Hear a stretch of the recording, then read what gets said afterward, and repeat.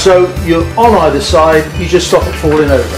And then what we do then is we wheel it out. Now I'll need somebody who's um, possibly of a certain age who's a little bit less agile. I'm not looking at anybody. Uh, most of you here.